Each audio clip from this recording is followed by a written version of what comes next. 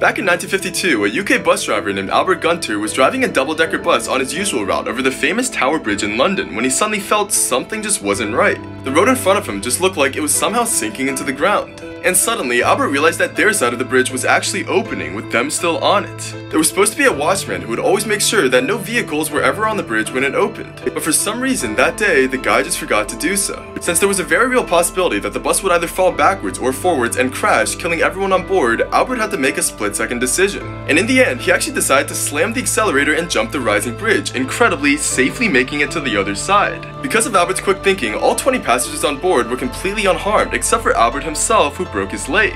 Because of his incredible bravery, Albert was eventually awarded an entire day off of work as well as 10 pounds in reward money.